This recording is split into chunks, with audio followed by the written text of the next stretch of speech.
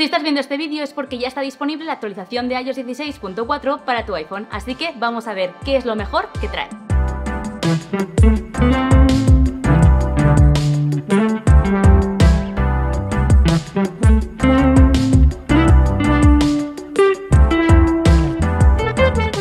Lo primero de todo es que vamos a encontrar nuevos emojis disponibles en nuestro teclado. Ya sabéis que yo con este tema no puedo ser realmente objetiva, porque a mí que ya me añadan uno nuevo, a mí ya me emociona, o sea, imaginaros si me añaden toda esta lista. Os los dejo por aquí en pantalla todos escritos, pero también os invito a que en comentarios me escribáis el emoji que más os ha gustado de esta actualización.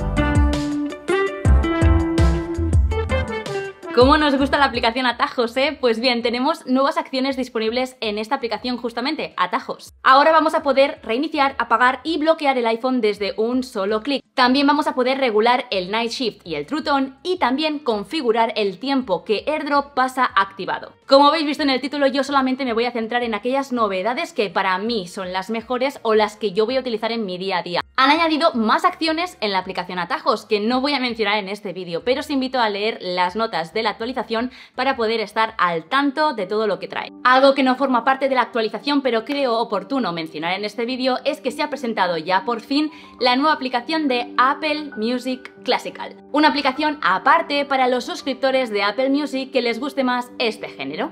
Como bien he dicho, esto fue una de las novedades de a principios de mes, pero ya está disponible en la App Store, así que si te encanta este género musical, la música clásica, ya puedes ir a la App Store y descargarte esta nueva aplicación. Otra de las novedades que más me gusta y creo que le podemos dar jugo son las notificaciones push de Safari para tu iPhone y iPad. Y es que no sé si vosotros estáis acostumbrados a guardaros webs como accesos directos, como una especie de aplicación que realmente es un acceso directo a una web concreta de Safari. Yo es verdad que no soy muy propensa a utilizar esta funcionalidad, pero por ejemplo mis padres sí. Así que os traigo una actualización de esta funcionalidad. Como bien he dicho, no dejaban de ser accesos directos y por lo tanto cuando tú hacías clic en esa aplicación te abría una web. Pues bien, ahora van a ser más interactivos y es que como he dicho se han activado las notificaciones push y esto lo que significa es que van a actuar literalmente como una aplicación. Vas a poder recibir notificaciones activas en tu iPhone y también globitos. Vamos con la novedad número 5 que más me ha gustado y creo que era totalmente necesaria y es una actualización en las llamadas telefónicas. Y es que yo creo que es algo que se ha hecho bastante viral estos últimos días en Twitter porque por fin han añadido el aislamiento de voz una funcionalidad que ya veíamos tanto en FaceTime como también en WhatsApp, por ejemplo, cuando llamabas. Eso sí, esta funcionalidad te va a costar encontrarla un poquito más, así que te voy a hacer un mini tutorial de cómo poder activarla.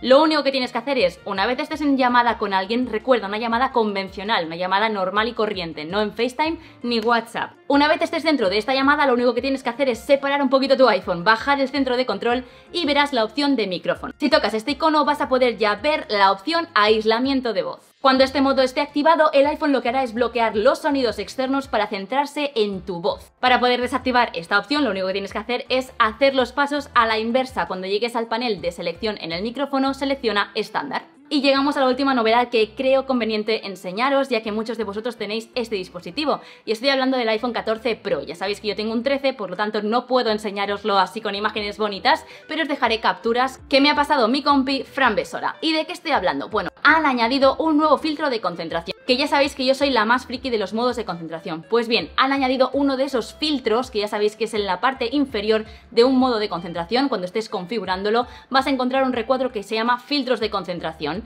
¿Esto para qué sirve? Bueno, son más opciones que podemos añadir cuando se nos active ese modo de concentración. Pues han añadido uno nuevo y ahora vamos a tener, vais a tener la posibilidad de activar o desactivar el modo de pantalla siempre encendida. Que por si no te has enterado, hay un rumor que dice que este modo de la pantalla siempre activa desgasta más la batería de tu iPhone. Ahí lo dejo.